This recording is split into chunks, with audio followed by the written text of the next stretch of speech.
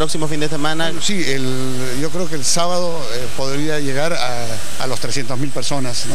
Hay que, para tener una comparación, nosotros recibimos promedio 3 millones de personas al mes, un Jockey Plaza recibe 2 millones, o sea, el 50% más que, que un Jockey Plaza. Entonces, ese es el volumen y la fuerza que tiene Gamarra, pero indudablemente la mayor fuerza es la buena calidad de sus productos y los precios. ¿no? ¿Se puede, digamos, garantizar la seguridad para todos los visitantes? Sí, sí, sí. bueno, ya la seguridad dentro de Gamarra está asegurada hace un buen tiempo, pero estamos siempre de mejorar, de perfeccionar.